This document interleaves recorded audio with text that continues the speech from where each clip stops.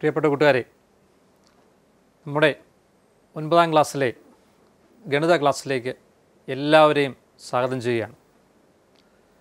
ഇന്നത്തെ നമ്മുടെ ഓൺലൈൻ ക്ലാസ്സിലൂടെ ഒൻപതാം തരത്തിലെ ഒന്നാമത്തെ അധ്യായമായ പരപ്പളവുകളെക്കുറിച്ചുള്ള ചില ചർച്ചകളാണ് മുന്നോട്ട് വെക്കുന്നത്. നമ്മുടെ ഒന്നാമത്തെ ഗണിത ക്ലാസ് ആയതുകൊണ്ട് തന്നെ ഒൻപതാം തരത്തിൽ ഏതൊക്കെ അധ്യായങ്ങളാണ് ഉള്ളതിനെക്കുറിച്ച് നമുക്ക് ഓടിച്ചൊന്ന് നോക്കാം. ഒന്ന് മുതൽ പതിമൂന്ന് വരെയുള്ള അധ്യായങ്ങളാണ് നിങ്ങൾക്ക് പഠിക്കാനുള്ളത്. ഓരോന്നിന്റെയും പേരെടുത്ത് ഞാൻ ഇപ്പോൾ പറയുന്നില്ല. പക്ഷേ നിങ്ങളിവിടെ കൃത്യമായിട്ട് ഓർത്തിരിക്കേണ്ട ചില രസകരമായ കാര്യങ്ങളുണ്ട്. ഉദാഹരണത്തിന് രണ്ടാമത്തെ അധ്യായം. ദശാംശ രൂപങ്ങൾ അല്ലെങ്കിൽ ഡെസിമൽ ഫോംസ് എന്നാണ് പറഞ്ഞത് പ്രത്യേക വാക്കൊന്ന് ശ്രദ്ധിച്ചിരുന്നോ ദശാംശ സംഖ്യകളെന്നോ ഡെസിമൽ നമ്പേഴ്സ് എന്നോ അല്ല പറയുന്നത് ദശാംശ രൂപങ്ങൾ അല്ലെങ്കിൽ ഡെസിമൽ ഫോംസ്. വിശദമായിട്ട് നമുക്ക് അത്തരം കാര്യങ്ങൾ ചർച്ചയ്ക്ക് വെക്കേണ്ടി വരും. അതുപോലെ തന്നെ ഒന്നാമത്തെ അധ്യായത്തിൽ പരപ്പളവിനെക്കുറിച്ച് നമുക്ക് കുറേയധികം കാര്യങ്ങൾ പരപ്പളവെന്ന് പറയുമ്പോൾ ത്രികോണങ്ങളുടെ പരപ്പളവിനെക്കുറിച്ച് കുറേയധികം കാര്യങ്ങൾ നമുക്ക് ചർച്ച ചെയ്യേണ്ടതുണ്ട്. അങ്ങനെ ഒന്നാമത്തെ അധ്യായത്തിലേക്ക് വരുന്നതിന് തൊട്ട് മുമ്പായിട്ട് നിങ്ങൾക്കൊരു കുഞ്ഞു ചോദ്യം ഞാൻ തരികയാണ്. ഒന്ന് നോക്കുക. നിങ്ങളിപ്പോൾ കാണുന്നത് ഒരു ത്രികോണമാണ്. ത്രികോണത്തെക്കുറിച്ച് നിങ്ങൾ എന്തെല്ലാം പഠിച്ചിട്ടുണ്ട്?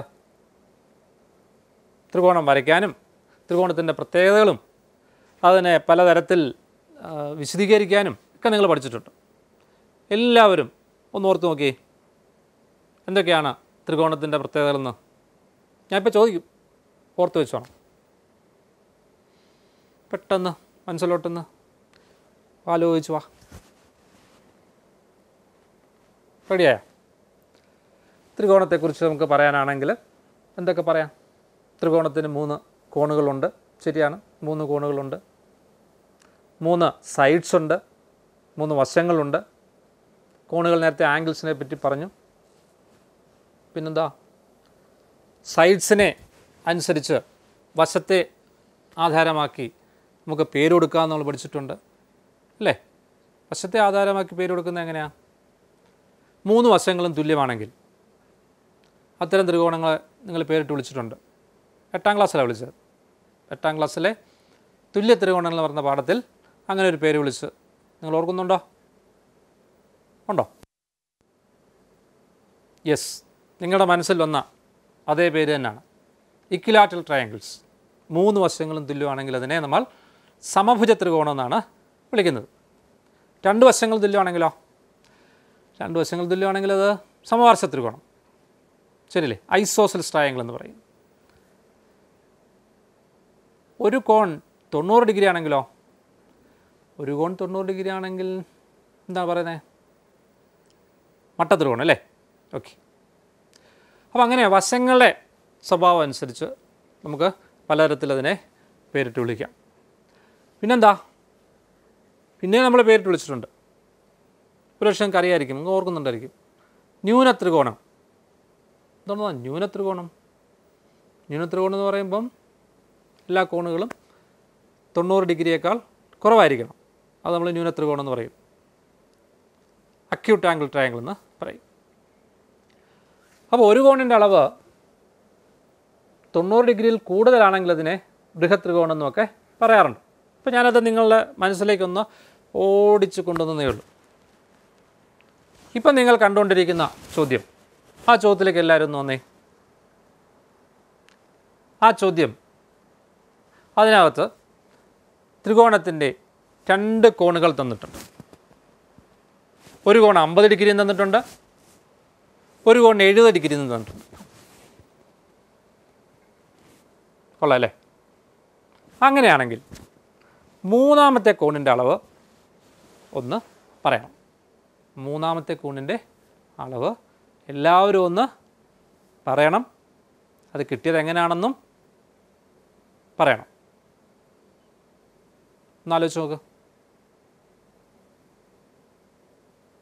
ആലോചിക്കാനുള്ള സമയം അത് കേട്ടോ? മനസ്സിൽ നിങ്ങൾക്ക് ക്രിയ ചെയ്ത് നോക്കാം. അല്ലെങ്കിൽ നിങ്ങളുടെ കയ്യിലിരിക്കുന്ന ബുക്ക് ബുക്കിനകത്തേക്ക് ഇത് വേണമെങ്കിലൊന്ന് വരയ്ക്കാം. റഫായിട്ട് വരയ്ക്കാം. ഏകദേശ ചിത്രം വരയ്ക്കാം. എന്നിട്ട് അതിന്റെ കോണിനെ പറ്റിയൊരു അഭിപ്രായം പറയാം. കിട്ടിയല്ലോ? എന്താണ് മൂന്നാമത്തെ കോൺ? മൂന്നാമത്തെ കോൺ എത്രയാണ്? ഒന്നും രണ്ടും കോണുകൾ എത്ര അമ്പതും എഴുപതും. അപ്പോൾ മൂന്നാമത്തെ കോൺ എത്ര വരും? അത് നൂറ്റമ്പത് ന്യൂനം നൂറ്റി ഇരുപത് അറുപത് ഡിഗ്രി. ശരിയല്ലേ? ചിലർക്ക് സംശയം എങ്ങനെയാണ് അറുപത് ഡിഗ്രി കിട്ടിയെന്ന്? ഒന്നുകൂടെ പറയണം. വേണ്ട. വേണം. മൂന്ന് കോണുകളുടെ കൂടെ തുക എത്ര നൂറ്റി എൺപത് ഡിഗ്രി. ഒരു ത്രികോണത്തിലെ മൂന്ന് കോണുകളുടെ തുക നൂറ്റമ്പത് ഡിഗ്രി ആണെന്ന് നമുക്കറിയാം. രണ്ട് കോണുകളുടെ തുക നൂറ്റി ഇരുപത് ഡിഗ്രി. അമ്പതും എഴുപതും അല്ലേ? അപ്പോൾ സ്വാഭാവികമായിട്ടും രണ്ടുകൂടെ കൂട്ടുമ്പോൾ എത്ര വരും? നൂറ്റി ഇരുപത് മിച്ചമുള്ള എത്ര ആയിരിക്കും നൂറ്റമ്പത് കുറയ്ക്കണം. നൂറ്റി ഇരുപത് സമം അറുപത് ഡിഗ്രി. ശരിയല്ലേ? റെഡിയല്ലേ? ഓക്കെ. അങ്ങനെയാണെങ്കിൽ ഞാൻ അടുത്തൊരു കാര്യം നിങ്ങളെ കാണിക്കാം. നിങ്ങൾ അതിനെക്കുറിച്ച് അഭിപ്രായം പറയണം. ശ്രദ്ധിച്ചിരിക്കണം. നല്ല പറയാൻ പറ്റും. കണ്ട? എന്താണത്?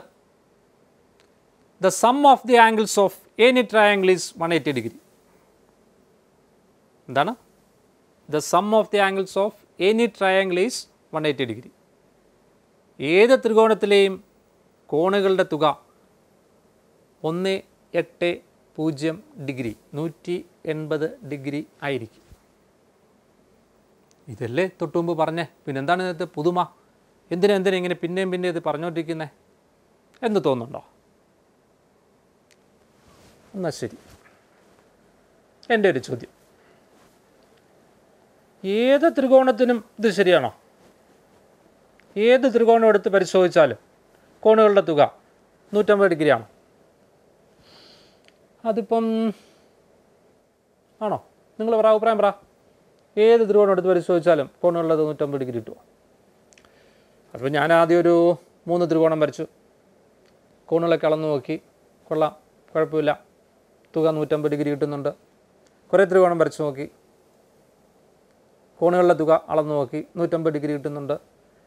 എന്ന് കരുതി എല്ലാ ത്രികോണത്തിന്റെയും കോണുകളുടെ തുക നൂറ്റമ്പത് ഡിഗ്രി എന്ന് ആര് പറഞ്ഞു? പറയാൻ പറ്റുമോ പറയാൻ പറ്റുമോ ആലോചിച്ച് നോക്ക്. നിങ്ങളോട് ആരെങ്കിലും ചോദിക്കുക. അല്ല അതിപ്പം എത്രല്ല പഠിക്കുന്നത് ഒമ്പതാം ക്ലാസ്സിൽ.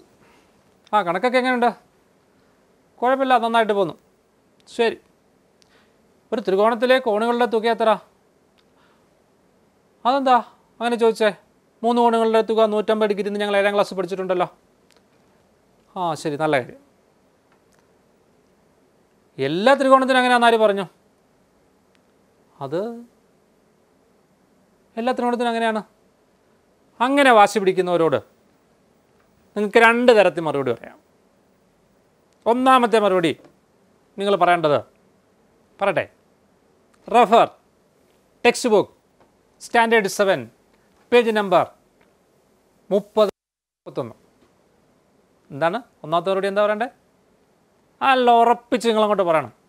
Refer standard seven mathematics textbook part one page number thirty and thirty one ഓ അപ്പോൾ അതിനകത്തുണ്ടാവും അല്ലേ? തീർച്ചയായും. അതിനകത്ത് വിസ്തരിച്ചതിനെക്കുറിച്ച് പറയുന്നുണ്ട്. എങ്ങനെയാണ് പറയുന്നുണ്ട്. മൂന്ന് ത്രികോണങ്ങളുടെ കോണുകളുടെ തുക നൂറ്റമ്പത് ഡിഗ്രി എന്ന് ആര് പറഞ്ഞു എന്നുള്ളതിന് അങ്ങനെ ചോദിക്കുന്നവരോട് സൗമ്യമായിട്ടുള്ള നമ്മളുടെ മറുപടിയാണ് നമ്മൾ പറഞ്ഞു തുടങ്ങി. ഇപ്പം നിങ്ങൾ കാണുന്ന ചിത്രം കണ്ട? ആ ചിത്രത്തിൽ വളരെ വ്യക്തമായിട്ട് മൂന്ന് കോണുകൾ അടയാളപ്പെടുത്തിയിട്ടുണ്ട്. അല്ലേ? കോൺ എ അധികം കോൺ ബി അധികം കോൺ സി സമം ഒരു ചോദ്യചിഹ്നം കൊടുത്തിട്ടുണ്ട്. നമുക്കറിയാം. ആ നൂറ്റമ്പത് ഡിഗ്രി ആണെന്നറിയാം പക്ഷെ എങ്ങനെ കിട്ടി എന്നുള്ളതാണ് ഇവിടുത്തെ ചോദ്യം. അതിനുവേണ്ടി നിങ്ങളുടെ എല്ലാ ഓർമ്മ ഞാൻ അങ്ങോട്ട് കൊണ്ടുവരിക. ഒന്ന് ശ്രദ്ധിച്ചു. എന്താണ്? ഞാൻ പറയേണ്ട കാര്യമില്ല. ചിത്രം കാണുമ്പോൾ തന്നെ നിങ്ങൾക്ക് മനസ്സിലാവും.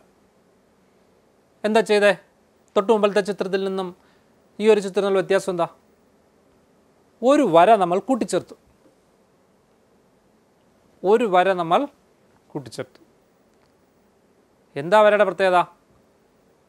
അത് ചുവട്ടിലെ വശമായ ചുവട്ടിലെ വരയായ ബേസായ എ ബിക്ക് പാരലായി സമാന്തരമായിട്ട് സിയിൽ കൂടി ഒരു വര വരച്ചു. ഇത്രേ ഉള്ളൂ. ഇനിയും പറ. നിങ്ങളുടെ ഓർമ്മകളിൽ നിന്നും അടുത്ത സ്റ്റെപ്പ് എന്തായിരിക്കുമെന്ന് ആലോചിച്ച് നോക്ക്. ഞാൻ പറയത്തില്ല. നിങ്ങൾ പറ. നിങ്ങൾ ആലോചിച്ചിട്ടേ ഞാൻ പറയും. ആലോചിക്കാം ആലോചിക്കാം ആലോചിക്കാം ആലോചിച്ചോ എന്നാ ഞാൻ പറയണോട്ടെ ശരി. എനിക്ക് പറയാനുള്ളത് എന്റെ അടുത്ത ചിത്രത്തിലുണ്ട്. അടുത്ത ചിത്രത്തിലൂടെ ഞാൻ എല്ലാം പറഞ്ഞു വെച്ചിട്ടുണ്ട്. സൂക്ഷിച്ച് നോക്കിയ അടുത്ത ചിത്രം എന്താന്ന്? പഴയ ചിത്രം തന്നെ. ത്രികോണം നമ്മുടെ കയ്യിലുണ്ട്. ചുവട്ടിലെ വരയ്ക്ക് സമാന്തരമായിട്ട് സിയിൽ കൂടി ഒരു വര വരച്ചിരിക്കുന്നു. പിന്നെന്താണ്? അങ്ങനെ നോക്കിക്കഴിയുമ്പോഴാണ് നമ്മൾ ഏഴാം ക്ലാസ്സിൽ പഠിച്ച മറുകോണുകൾ തുല്യം അൾട്ടർനേറ്റ് ആംഗിൾസ് ആർ സെയിം ആ പ്രത്യേകത കണ്ടോ? ആ പ്രത്യേകത അനുസരിച്ച് ആ സിയിലുണ്ടായിരിക്കുന്ന മൂന്ന് കോണുകളുടെയും കൂടെ തുക നൂറ്റമ്പത് ഡിഗ്രിയാണ് നമുക്കറിയാം. ആ സിയിലുണ്ടായിരിക്കുന്ന നടുവിലത്തെ കോൺ നേരത്തെ നമ്മൾ കണ്ട സിയിലെ കോൺ തന്നെയാണ്. സിയിലുണ്ടായിരിക്കുന്ന ഇടതുവശത്തെ കോൺ കോൺ എ തന്നെയാണ്. മറുകോണുകൾ തുല്യം. പിന്നെന്താണ്? സിയിലുണ്ടായിരിക്കുന്ന വലതുവശത്തെ കോൺ കോൺ ബി തന്നെയാണ്. ചുരുക്കത്തിൽ കോൺ എ അധികം കോൺ ബി അധികം കോൺ സി സമം നൂറ്റി എൺപത് ഡിഗ്രി എന്ന് വളരെ വിശദമായും വ്യക്തമായും ലഘുവായും ഒറ്റ ചിത്രത്തിലൂടെ സ്ഥാപിക്കാൻ നമുക്ക് കഴിയും. ആലോചിച്ച് നോക്ക്. എത്ര സിമ്പിളായിട്ടാണ് പറഞ്ഞത്. എത്രയോ ത്രികോണം എടുത്ത് പരിശോധിക്കേണ്ട സ്ഥലത്താണ് ഒന്നോ രണ്ടോ ആർഗ്യുമെൻസിലൂടെ ഒന്നോ രണ്ടോ തത്വങ്ങളിലൂടെ നമ്മൾ ആ ഒരു വലിയ തത്വത്തിൽ എത്തിച്ചേർന്നത് അല്ലേ? ത്രികോണങ്ങളുടെ തുക നൂറ്റമ്പത് ഡിഗ്രി ആണെന്നുള്ളത് പറയാൻ അത്ര നിസ്സാരമല്ല. പക്ഷെ ആ ഒരു കാര്യവും നമ്മൾ തെളിയിച്ചു കഴിഞ്ഞു. ഞാൻ എന്തിനത് പറയുന്നത് വെച്ച് കഴിഞ്ഞാൽ ത്രികോണത്തിന്റെ പ്രത്യേകതകളെക്കുറിച്ച് പറഞ്ഞപ്പം പറഞ്ഞതാണ് കൂടാതെ ആ തെളിവിന് ഉപയോഗിച്ച ആ തെളിവിന്റെ രീതിശാസ്ത്രം നിങ്ങൾ കണ്ടിട്ടുള്ളതുമാണ്. നിങ്ങളിപ്പോൾ ഒൻപതിലാണ്. നിങ്ങൾ ഏഴാം ക്ലാസ്സിൽ കണ്ടിട്ടുണ്ട്. അതുകൊണ്ടാണ് പറഞ്ഞത്. ശരി. ഇപ്പം നമ്മൾ കണ്ട സമാന്തര വരെ നമ്മൾ അങ്ങനെ അങ്ങ് വിടാൻ ഉദ്ദേശമില്ല. നമുക്ക് ആവശ്യമുണ്ട്. കേട്ടോ? നോട്ട് ചെയ്തോണം സിയിൽ കൂടി കടന്നു പോകുന്ന സമാന്തര വര നമുക്ക് ആവശ്യമുണ്ട്. അടുത്തൊരു ചോദ്യം. വളരെ വളരെ എളുപ്പമുള്ള ചോദ്യമാണ്. നോക്കിയോ എന്താ ചോദ്യം പറയുന്നേ? ചോദ്യം നമ്മളോട് പറഞ്ഞേക്കുന്നു. ചോദ്യത്തിനകത്ത് ഒരു ത്രികോണമാണ്. അതിന്റെ ചുവട്ടിലെ വശം എട്ട് യൂണിറ്റാണ് ബേസ് എട്ട് യൂണിറ്റാണ്. പിന്നെന്താ പറയുന്നത് ചുവട്ടിലെ വശത്തിന് എതിരെയുള്ള മൂലയിൽ നിന്നും ഒരു ലംബം വരച്ചിരിക്കുന്നു. ആ ലംബത്തിന്റെ അളവ് സ്കെയിൽ മെഷർമെന്റായിട്ട് തന്നിട്ടില്ല. അതിനെ എച്ച് എന്ന് വിളിച്ചിരിക്കുന്നു. നമുക്ക് വിരോധമുണ്ടോ അങ്ങനെ എച്ച് എന്ന് വിളിക്കുന്നു. അളന്ന് നോക്കിയില്ല. അളന്ന് നോക്കാത്തതുകൊണ്ട് ഹൈറ്റ് എന്നുള്ളതിന്റെ എച്ച് എന്നുള്ള അർത്ഥത്തിൽ നമ്മൾ എച്ച് എന്ന് ഉന്നതി എന്നുള്ള അർത്ഥത്തിൽ വിളിച്ചതേ ഉള്ളൂ. എച്ച് നിങ്ങൾക്ക് ഏത് അക്ഷരം ഉപയോഗി ഉപയോഗിക്കാം? അത് പ്രശ്നമൊന്നുമില്ല. ഇവിടെ ഇപ്പോൾ എച്ച് എന്ന് ഉപയോഗിച്ചതേ ഉള്ളൂ. എന്താ ചോദ്യം? ഈ ത്രികോണത്തിന്റെ പരപ്പളവ് ഏരിയ എത്രയാണ്? കണ്ടുപിടിച്ചോ? നിങ്ങളുടെ ആലോചനയുടെ സമയമാണ്. എന്റെ മൗനത്തിന്റെയും സമയമാണ്. ത്രികോണത്തിന്റെ പരപ്പളവിനെക്കുറിച്ച് ഏഴാം ക്ലാസ്സിൽ ചതുരത്തിന്റെ പരപ്പളവിൽ നിന്നും മട്ടത്രികോണത്തിന്റെ പരപ്പളവിലേക്ക് വന്ന് അങ്ങനെ എല്ലാ ത്രികോണത്തിന്റെയും പരപ്പളവ് കണ്ടുപിടിക്കുന്ന രീതിശാസ്ത്രമൊക്കെ നമ്മളവിടെ വിശദമായിട്ട് ചർച്ച ചെയ്തതാണ്. നിങ്ങൾക്ക് ചിലപ്പം ഓർമ്മ അത്രയും വന്ന് വന്ന് കാണത്തില്ല. അത് നമുക്ക് നോക്കണം. പെട്ടെന്ന് ഞാനിങ്ങനെ പറഞ്ഞു കഴിയുമ്പോൾ നിങ്ങൾക്ക് ഞാൻ എന്തിനാ അതാ പറഞ്ഞത്? നിങ്ങളുടെ നിങ്ങളുടെ ഓർമ്മകൾ പെട്ടെന്നിലേക്ക് കൊണ്ടുവരാൻ വേണ്ടിയാണ് ഞാനിങ്ങനെ സംസാരിച്ചത്. എന്തായി? ഒരു ധാരണയിലെത്തിയോ? ചിലർ പറയുമോ "ഓ, ഇതൊക്കെ എന്ത്? അങ്ങനെയുള്ളവരും ക്ഷമിക്കുക നമുക്കടുത്ത കണക്കിലേക്കൊക്കെ വരാം. ഓക്കെ? അപ്പം പലപ്പോഴും കണ്ടുപിടിക്കുവാണേ. ഇത്രേ ഉള്ളൂ. ഒറ്റ സെന്റൻസ് പലപ്പോഴും പറഞ്ഞേക്കുക എന്താണ്? Area of triangle A B C സമം. രണ്ടിലൊന്ന് ഗുണം എട്ട് എച്ച് എട്ട് ഗുണം H one by two into eight H or one by two into eight into H അത് ലഘൂകരിക്കുമ്പം എന്താണ്? നാല് എച്ച് എങ്ങനെ കിട്ടി? എട്ടിന്റെ പകുതി ആണ് നാല്. രണ്ടിലൊന്ന് എട്ടെന്ന് പറയുമ്പോൾ എന്താ? എട്ടിന്റെ പകുതി. എട്ടിന്റെ പകുതി എന്താ? നാല്. അല്ലെങ്കിൽ എട്ടച്ചിന്റെ പകുതി. എട്ടച്ചിന്റെ പകുതി എത്ര? നാലച്ച് അപ്പോൾ നാലച്ച് സ്ക്വയർ യൂണിറ്റ് ചതുരശ്ര യൂണിറ്റ് ക്ലിയർ ആയല്ലോ.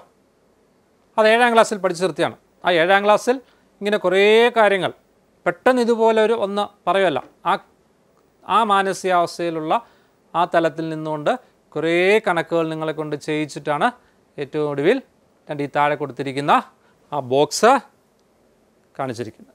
അത് ഇംഗ്ലീഷിലും മലയാളത്തിലും പറഞ്ഞിട്ടുണ്ട്. എന്താ പറഞ്ഞിരിക്കുന്നത് ഒരു ത്രികോണത്തിന്റെ പരപ്ലവ് ഏതെങ്കിലും വശത്തിന്റെയും ശ്രദ്ധിക്കണേ ഏതെങ്കിലും വശത്തിന്റെയും വശത്തിന്റെ എതിർമൂലയിൽ നിന്നുള്ള ലംബത്തിന്റെയും ഗുണനഫലത്തിന്റെ പകുതിയാണ്.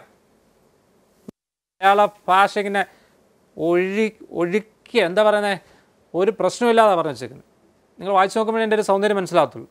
ഒരു ത്രികോണത്തിന്റെ പരപ്പളവ് ഏതെങ്കിലും വശത്തിന്റെയും വശത്തിന്റെ എതിർമൂലയിൽ നിന്നുള്ള ലംബത്തിന്റെയും തീർന്നില്ല. ഗുണനഫലത്തിന്റെയും തീർന്നില്ല. പകുതിയാണ്. അതാണ്. ഇംഗ്ലീഷിൽ പറഞ്ഞിട്ടുണ്ടല്ലോ. The area of a triangle is half the product of one side with the perpendicular from the opposite എന്താണ്? വെർട്ടെക്സ് ഓക്കെ അപ്പോൾ ഇത് നിങ്ങൾക്കറിയാമല്ലോ ഞാനത് പ്രശ്നമൊന്നുമില്ല. ഞാൻ നേരത്തെ പറഞ്ഞു. സമാന്തര വരയെ നമ്മൾ മറന്നു പോകരുത് ഇപ്പോൾ ഇതിന്റെ പലപ്പോഴും നമുക്ക് കിട്ടി. എന്റെ ഒരു അടുത്ത ചോദ്യം. ഈ പരപ്ലവ് നേരത്തെ നിങ്ങൾ ചിലർ പറഞ്ഞിട്ടുണ്ട്. ഇതൊക്കെ ഞങ്ങൾ നേരത്തെ പഠിച്ചിട്ടുള്ള എന്നൊക്കെ പറഞ്ഞവരുണ്ടല്ലോ. അപ്പോൾ അവരോട് ശ്രദ്ധിക്കുക. എനിക്ക് എന്താണ്? ഈ ത്രികോണത്തിന്റെ പരപ്പളവ് നിങ്ങൾക്കറിയാം. ഇതേ പരപ്പളവുള്ള മറ്റൊരു ത്രികോണത്തെ കൂടെ കാണിച്ചു തരണം. മറ്റൊരു ത്രികോണത്തെ കൂടെ വരയ്ക്കണം. ഇതാണ് ടാസ്ക്. അപ്പോൾ നിങ്ങൾക്ക് ഒരു ടാസ്ക് തന്നിരിക്കുകയാണ്. എല്ലാവരുടെയും ബുക്ക് നിങ്ങളുടെ കയ്യിൽ നിങ്ങളുടെ കയ്യിൽ തന്നെ ഇരിപ്പുണ്ട്. ഒരു പക്ഷേ ഇൻസ്റ്റന്റ് ബോക്സ് നിങ്ങളുടെ കയ്യിൽ കാണും. ഇൻസ്റ്റന്റ് ബോക്സ് ഉണ്ടായാലും ഇല്ല ഇല്ലെങ്കിലും കുഴപ്പമില്ല. നിങ്ങൾ ആലോചിക്കുക. എന്താ ആലോചിക്കണ്ടേ? ഇതേ പരപ്പളവുള്ള മറ്റൊരു ത്രികോണത്തെ കാണിച്ചു തരണം. ശ്രദ്ധിക്കണേ. ആലോചിക്കും. എന്റെ മൗനത്തിന്റെ സമയം നിങ്ങളുടെ ആലോചനയുടെ സമയം. എന്താണ് വേണ്ടത്? ആലോചിക്കുവാണേ. ഇതേ പരപ്പളവ് വേണം. ശരി പരപ്പളവ് എത്രയാണ്? നാല് എച്ച് ആണ്. ചേട്ടാ എച്ച് തന്നിട്ടില്ലല്ലോ. എച്ച് തന്നിട്ടുണ്ടായിരുന്നു നമുക്ക്. എന്തെങ്കിലുമൊക്കെ സൂത്രപ്പണി കാണിക്കായിരുന്നു അല്ലേ? ചിലർ അങ്ങനെ ആലോചിക്കും. നല്ല ആലോചനയാണ്. പിന്നെന്താ? ഇതേ പരപ്പളവ് വേണം. എന്നാൽ എന്ത് വേണം? മറ്റൊരു ത്രികോണമായിരിക്കണം. എന്തായി? ആലോചന നടക്കുന്നുണ്ടോ? അറിയാം നിങ്ങളുടെയൊക്കെ മുഖം എനിക്ക് കാണാൻ പറ്റുന്നുണ്ട്. എല്ലാവരും നന്നായിട്ട് ആലോചിക്കുന്നുണ്ട്. ഗുഡ്. ഓക്കെ. നമുക്കൊന്നിച്ച് ആലോചിച്ചാലോ നിങ്ങളുടെ ആലോചനയോടൊപ്പം ഞാനോടൊന്ന് ആലോചിച്ചോട്ടെ. നമുക്ക് എന്താ വേണ്ടേ? സി എന്ന് സിയുടെ സ്ഥാനം മാറ്റിയാൽ അല്ലേ? നമ്മളിപ്പോൾ കണ്ടുകൊണ്ടിരിക്കുന്ന നമ്മളിപ്പോൾ കാണുന്ന ആ ചിത്രം ഉണ്ടല്ലോ ത്രികോണം. അതിനകത്ത് സിയുടെ സ്ഥാനമൊന്ന് മാറ്റിയാൽ പുതിയ ത്രികോണം കിട്ടും. എയുടെയും ബിയുടെ സ്ഥാനം മാറ്റുന്നില്ല. സിയുടെ സ്ഥാനം മാറ്റി. ആ സ്ഥാനം അവ എങ്ങോട്ടൊക്കെ മാറ്റാം? സിയുടെ സ്ഥാനം അല്പം ഇപ്പോൾ നിൽക്കുന്നിടത്ത് നിന്ന് തന്നെ. ഓർത്തോണേ? സി ഇപ്പോൾ എവിടെയാണോ സി എന്ന് പറയുന്ന ബിന്ദു നിൽ സ്ഥാനം. അവിടെ നിന്ന് അല്പം മുകളിലോട്ട് മാറ്റി നിന്നിരിക്കട്ടെ മുകളിലോട്ട് മാറ്റി. ഞാൻ ഡി എന്ന് പറയുന്ന ഒരു ബിന്ദുവിനെ കണ്ടുപിടിച്ചു. ഒരു വിരോധമില്ല ത്രികോണം പുതിയ ത്രികോണം കിട്ടും. പക്ഷേ പരപ്പളവ് മാറും. അല്ലേ? മാറത്തില്ലേ? കാരണം എന്താ? ആ ഉയരം ഉണ്ടല്ലോ. എച്ച് അത് മാറും. എച്ച് മാറിക്കഴിഞ്ഞാൽ പരപ്പളവ് മാറി. എയും ബി അവിടെ തന്നെ നമ്മൾ നിർത്തിയേക്കും. അപ്പോൾ സിക്ക് മുകളിലോട്ട് പോകാൻ പറ്റത്തില്ല. പിന്നോ? പിന്നെന്താ? മുകളിലോട്ട് പോയില്ല പിന്നെ നമ്മളെങ്ങോട്ട് ആലോചിക്കുന്നത് സ്വാഭാവികമായിട്ടും പെട്ടെന്ന് ആലോചന പറയുന്നത് താഴോട്ടായിരിക്കും. ശരി. ഇപ്പോൾ നിൽക്കുന്ന സി സിയുടെ ആ പോയിന്റ് ഉണ്ടല്ലോ. ആ പൊസിഷൻ ഉണ്ടല്ലോ സ്ഥാനം. അവിടെ നേരെ താപ്പോട്ട് എടുത്തു എന്ന് വിചാരിക്കാം. താപ്പോട്ട് എടുത്തിട്ട് നമ്മൾ ഡി എ ഫിക്സ് ചെയ്തു. അല്ല ഡി എന്ന് പറയുന്ന പോയിന്റിനെ ലൊക്കേറ്റ് ചെയ്ത് നിർണയിച്ചു എന്നിട്ട് ത്രികോണം എ ബി ഡി അല്ലേ? എ ബി ഡി ഇങ്ങനെയല്ലേ വരുന്നത് സി എന്നുള്ള പേരങ്ങ് മാറ്റുന്നേ ഉള്ളൂ. അങ്ങനെ ആലോചിച്ചാലോ? അപ്പോഴും ഒന്നാമത്തെ നിബന്ധന ഓക്കെയാണ്. പരപ്പളവ് രണ്ടാമത്തെ നിബന്ധന. ഒന്നാമത്തെ നിബന്ധന എന്താ? പുതിയ ത്രികോണം കിട്ടി. രണ്ടാമത്തെ നിബന്ധന എന്താ? അത് പരപ്പളവ് മാറരുത് മാറിയില്ലേ? ഉറപ്പായിട്ട് മാറില്ലേ കാരണം നേരത്തെ നമ്മൾ പറഞ്ഞ നമ്മുടെ ഇരിക്കുന്ന എച്ച് എച്ച് എന്ത് ചെയ്തു? എച്ച് ഒന്ന് താന്നു കൊടുത്തു. ഇമ്മണി കുറഞ്ഞു. അപ്പോൾ അതും രക്ഷയില്ല. പിന്നെന്താ? അപ്പോൾ മുകളിലോട്ട് നടക്കുന്നില്ല താഴോട്ടും പറ്റുന്നില്ല. ഇനിയും പറ ഇനി എന്ത് ചെയ്യണം? ആ അത് തന്നെ. പറഞ്ഞോ പറഞ്ഞു ഉറക്കെ പറ. യെസ് സിയുടെ സ്ഥാനം വലത്തോട്ട് മാറ്റുക. സിയുടെ സ്ഥാനം ഇടത്തോട്ട് മാറ്റുക. കണ്ടോ? അത് നല്ലൊരു അഭിപ്രായമാണ്. അല്ലേ? ശരിയല്ലേ? ആലോചിച്ച് നോക്ക്. സിയുടെ സ്ഥാനം വലത്തോട്ട് മാറ്റി ഞാനൊരു കുത്തിട്ടു. നേരെ വലത്തോട്ട്. അതിനെ ഡി എന്ന് വിളിച്ചു. അപ്പോൾ എ ബി ഡി എന്ന് പറയുന്ന ത്രികോണത്തിന്റെ പരപ്പളവ് മാറുമോ മാറുമോ ഇല്ല. ആ നേരത്തെ ഉണ്ടായിരുന്ന അതേ അകലം തന്നെയല്ലേ? അതേ ഉയരം തന്നെയല്ലേ? അവ മാറത്തില്ല. നിങ്ങളിപ്പം സ്കെയിലും കോമ്പസും ഒക്കെ ഉണ്ടായിരിക്കും. നിങ്ങൾ ഏകദേശം ഇത്രം വരച്ച് നോക്കിയാലും മതി. ശരി. ഇനി വേണമെങ്കിൽ എന്ത് ചെയ്യാം? സിയുടെ സ്ഥാനം ഇടത്തോട്ടും മാറാം. അല്ലേ? ഇത് നമ്മൾ ശരിയായിട്ട് പറയുമ്പോൾ സിയുടെ സ്ഥാനം ഇങ്ങനെ കൃത്യമായിട്ട് വലത്തോട്ട് മാറി. അപ്പം നേരത്തെ ഉണ്ടായിരുന്ന എച്ചിന്റെ അകലം എച്ച് എന്ന് പറയുന്ന അകലം കുറയുന്നില്ല എന്നൊക്കെ പറയണമെങ്കിൽ ഇതിനെ കുറച്ചുകൂടി നമുക്കെങ്ങനെ നന്നായിട്ട് പറയാൻ ആലോചിച്ച് നോക്കുക നിങ്ങൾ പഠിച്ചിട്ടുള്ള അല്ലെങ്കിൽ നിങ്ങൾ നമ്മൾ തൊട്ട് മുമ്പ് കണ്ട ഒരാളെ ഒഴിവാക്കരുത് മറന്നു പോരെന്നൊക്കെ പറഞ്ഞൊരു വരയുണ്ടല്ലോ. സമാന്തര ഒരു സമാന്തര വര വരച്ചേ എന്താ പറഞ്ഞേ? നമ്മളിപ്പം നമ്മുടെ കയ്യിലുള്ള ചിത്രത്തിൽ തന്നെ എ ബിക്ക് സമാന്തരമായിട്ട് സിയിൽ കൂടി ഒരു വര വരയ്ക്കുന്നു. വരച്ചോ? വരച്ചു. ആ വരയിൽ ഒരു കുത്തു കൊടുത്തു. അടുത്തിരിക്കുന്ന ആളെ കുത്താനല്ല പറഞ്ഞത് ഒരു കുത്തു കൊടുത്തു. ആ പോയിന്റിനെ ഡി എന്ന് വിളിച്ചു. ത്രികോണം എ ബി ഡി യോജിപ്പിച്ച് നോക്കാം. യോജിപ്പിക്കണം. മടിച്ചിരിക്കരുത് യോജിപ്പിക്കണം. ഓക്കെ കിട്ടിയില്ലേ? പുതിയൊരു ത്രികോണം കിട്ടിയില്ലേ? അതിന്റെ പരപ്പളവോ? അതിന്റെ പരപ്പളവിന് മാറ്റമില്ല. ശരിയല്ലേ? സമ്മതിച്ചോ? യെസ്. അങ്ങനെയാണെങ്കിൽ നിങ്ങൾ അതേ പടത്തിൽ തന്നെ സിയുടെ ഡി എന്ന് പറയുന്ന പോയിന്റ് ഉണ്ടല്ലോ അതവിടെ നിൽക്കട്ടെ. നിങ്ങളൊരു സമാന്തര വരെ വരച്ചിട്ടുണ്ട്. അതിന്റെ ഇടതുവശത്തായിട്ട് സിക്ക് ഇടത്തായിട്ട് ഒരു ബിന്ദു മാർക്ക് ചെയ്യാം അതിനെ എന്ത് പേരിട്ട് വിളിക്കാം? സാധാരണഗതിയിൽ നമ്മളിങ്ങനെ പേര് ക്രമാനുഗതമായിട്ടാണ് കൊടുക്കാറുള്ളത്. അങ്ങനെ നിയമമൊന്നുമില്ല. ഒരു രസം ഒരു സൗന്ദര്യം. എ കൊടുത്തു ബി കൊടുത്തു സി കൊടുത്തു തേണ്ടിയപ്പോൾ പുതിയ ആൾക്ക് ഡി കൊടുത്തു ഇനി ആരെ വിളിക്കാൻ നിങ്ങൾക്ക് ഇഷ്ടം? ഈന്ന് വേണേൽ വിളിക്കാം. ഈന്ന് വിളിച്ചോ. എന്താ മനസ്സിലായോ? പറഞ്ഞത് ചാടി പറഞ്ഞോ? ഇത്രേ ഉള്ളൂ പറഞ്ഞത്. നമ്മുടെ ഒരു ത്രികോണം ഉണ്ടായിരുന്നു. ആ ത്രികോണത്തിന്റെ ചുവട്ടിലെ വശം എ ബി ആണ്. അതിന് സമാന്തരമായിട്ട് സിയിൽ കൂടി ഒരു വര വരച്ചു. അതിന്റെ വലതുവശത്ത് ഒരു പോയിന്റ് നിങ്ങൾ കൊടുത്തു. കൊടുത്ത് തന്നെ ഡീന്ന് വിളിച്ചു. എന്തിനാ അങ്ങനെ വിളിച്ചത്? എന്തായിരുന്നു നമ്മുടെ ലക്ഷ്യം? നമുക്ക് ആദ്യത്തെ ത്രികോണമായ നമ്മുടെ കയ്യിലുള്ള ത്രികോണമായ ത്രികോണ എ ബി സിക്ക് പര എ സിയുടെ പരപ്പളവിന് തുല്യമായ ഒരു കൂട്ടരെ കാണിച്ചു കൊടുക്കണം. അപ്പോൾ ഒരാളെ കിട്ടിയേ. അതിന്റെ ഇടതുവശത്ത് ഒരെണ്ണം കൊടുത്തു നോക്ക്. കൊടുത്തു. എന്താ പേര് വിളിച്ചേ? ഈ നെൽ അപ്പം ഇനി ഞാൻ പെട്ടെന്ന് പറയാം നിങ്ങൾ ശ്രദ്ധിച്ചോ അപ്പോൾ സി കെ ഇടതുവശത്ത് കൊടുത്തു. സി കെ കുറച്ചുകൂടെ ഇടത്തോട്ട് കൊടുത്തേ. കുറച്ചുകൂടെ വലത്തോട്ട് കൊടുത്തേ. നല്ല രസമായിരിക്കും. ഒന്ന് കൊടുത്തു നോക്കി. വേണമെങ്കിൽ ഈ അവസരത്തിൽ വേണമെങ്കിൽ ഞങ്ങൾക്ക് ഒരു ചിത്രം നിങ്ങൾക്ക് കാണിച്ചു തരാം. നോക്കുക. ഒരു ചിത്രം ഒരു ചിത്രം. നിങ്ങൾ വരച്ചോ? നിങ്ങളുടെ കൂട്ടത്തിൽ ഞാനും വരയ്ക്കുന്നുണ്ട്. നിങ്ങളുടെ കൂട്ടത്തിൽ ഞാനും വരയ്ക്കുന്നു. കണ്ടോ? നേരത്തെ നിങ്ങൾ കണ്ട ഡി കണ്ടില്ലേ? പരപ്പളവ് എന്തിനാണ് വരുന്നത്? രണ്ടിലൊന്ന് ബി എച്ച് തന്നെ വരും അല്ലേ? രണ്ടിലൊന്നേ ഗുണം എട്ട് എച്ച് സമം നാല് സ്ക്വയർ യൂണിറ്റ്. അങ്ങനെ അങ്ങനെ അങ്ങനെ നമ്മൾ വരച്ചു പോകുമ്പം എന്താണ് ഏറ്റവും നമുക്ക് കിട്ടുന്നത്? വളരെ രസകരമായൊരു കാര്യം അല്ലേ? കണ്ടോ? ഇത്ര മനോഹരമായ ചിത്രം. എ ബി എന്ന് പറയുന്ന വശത്തിന് സമാന്തരമായിട്ട് സിയിൽ കൂടി ഒരു വര വരച്ചിരിക്കുന്നതാണ് നമ്മളിപ്പോൾ കണ്ടുകൊണ്ടിരിക്കുന്നത്.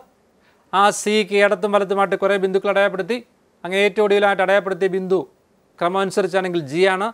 അപ്പോൾ നോക്കൂ ത്രികോണ എ ബി ജിയുടെ പരപ്പളം എന്ന് പറയുന്നതും ത്രികോണം എ ബി ജിയുടെ ഏരിയ എന്ന് പറയുന്നതും ഹാഫ് എയ്റ്റ് എച്ച് രണ്ടിലൊന്ന് എട്ട് എച്ച് തന്നെ ആയിരിക്കും. ചിത്രത്തിൽ വളരെ വ്യക്തമാണ്. ഇതിൽ നമുക്ക് എന്തു പറയാം? എന്തു പറയാം? താഴെ ഉണ്ട് എന്ത് പറയാം. All triangles with the same base and the third vertex on a line parallel to the base have the same അല്ലേ കുറേ ത്രികോണങ്ങൾ പറഞ്ഞു. ആ ത്രികോണങ്ങളൊക്കെ നിങ്ങളുടെ ബുക്കിലുണ്ട്. കാരണം നിങ്ങളത് തുടച്ചളഞ്ഞിട്ടില്ല. ഒടുവിലത്തെ ത്രികോണം കൃത്യമായിട്ട് കാണാൻ വേണ്ടി മറ്റ് ത്രികോണങ്ങളൊക്കെ ഞാൻ തുടച്ചേക്കുവാണ്. അപ്പോൾ എന്താണ്? എല്ലാ ത്രികോണങ്ങളും എന്തൊക്കെയാണ് പ്രത്യേകത ത്രികോണത്തിന്റെ ഒരേ പാദമായിരിക്കണം. എ ബി എന്ന് പറയുന്ന പാദമാണ്. മൂന്നാം മൂലകളെല്ലാം ശ്രദ്ധിക്കുക മൂന്നാം മൂലകളെല്ലാം പാദത്തിന് സമാന്തരമായ ഒരു വരയിലുമായ ത്രികോണങ്ങൾക്കെല്ലാം ഒരേ പരപ്പളവാണ്. ഒന്നുകൂടി ഒന്നുകൂടി.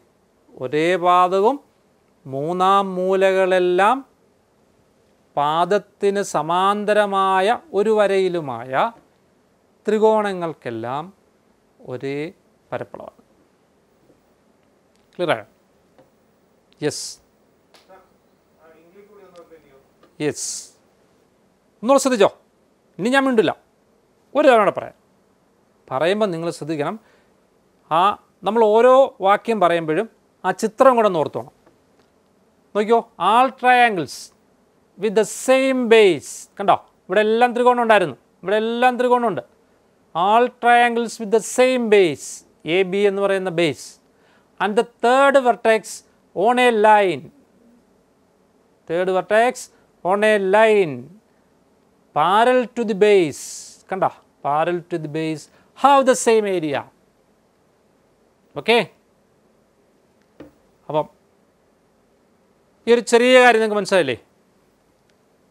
അടുത്ത ക്ലാസ്സിലേക്ക് ഒരു ചെറിയ ടാസ്ക് നിങ്ങൾക്ക് ഞാൻ തരുക ഒന്ന് നമ്മളിപ്പോൾ പറഞ്ഞ കാര്യങ്ങളെല്ലാം നിങ്ങൾ ഇപ്പോൾ കുറച്ച് കുറിച്ച് വെച്ചിട്ടുണ്ടായിരിക്കും. ആ കുറിപ്പ് മാത്രം പോരാ. അതല്ലാതെ നിങ്ങൾ നിങ്ങളുടെ ഭാഷയിൽ ഈ പറഞ്ഞ കാര്യങ്ങൾ ഒന്നുകൂടെ ഒന്ന് പ്രബലപ്പെടുത്തി ഒരു ബുക്കിനകത്തോട്ട് കുറിക്കുക. ഓക്കെ? ഒരു തവണ ചെയ്യണം. രണ്ട് ഏഴാം ക്ലാസ്സിലെ ത്രികോണങ്ങളുമായി ബന്ധപ്പെട്ട രണ്ട് അധ്യായങ്ങളുണ്ട്. ആ രണ്ട് അധ്യായങ്ങൾ നിങ്ങൾ കൃത്യമായിട്ട് ഇപ്പോൾ നിങ്ങൾക്ക് സമയമുണ്ട്. ഇപ്പോൾ നിങ്ങൾ കുറച്ച് സമയം വീട്ടിലിരിക്കുന്നുണ്ട്. അതുകൊണ്ട് തന്നെ ആ രണ്ട് അധ്യായങ്ങൾ നിങ്ങൾ നന്നായിട്ട് വായിച്ചു നോക്കി നല്ലൊരു കുറിപ്പ് എഴുതണം. ആ കുറിപ്പുമായി ബന്ധപ്പെട്ട ചോദ്യങ്ങളൊക്കെ അടുത്ത ക്ലാസ്സിൽ നിങ്ങളോട് ചോദിക്കും. അന്നേരം ആ ചോദ്യത്തിന് നിങ്ങൾക്ക് അവിടെ നിന്നുകൊണ്ട് ഉത്തരം എനിക്ക് പറഞ്ഞുതരാൻ പറ്റണം. ഓക്കെ റെഡി യെസ് ഇന്നത്തെ ക്ലാസ് നമുക്ക് ഇവിടം കൊണ്ട് താൽക്കാലികമായിട്ട് അവസാനിപ്പിക്കാം. ഓക്കെ